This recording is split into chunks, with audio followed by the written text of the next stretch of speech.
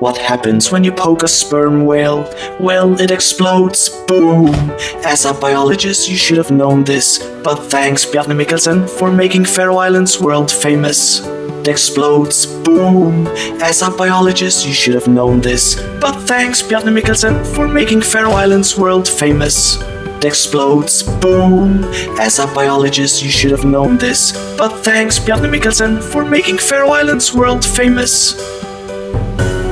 What happens when you poke a sperm whale? Well, it explodes. Boom! As a biologist, you should have known this. But thanks, Bjarni Mikkelsen, for making Faroe Islands world famous. It explodes. Boom!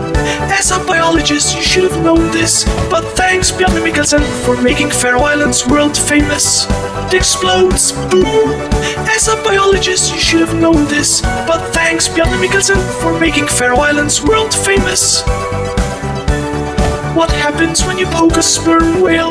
Well, it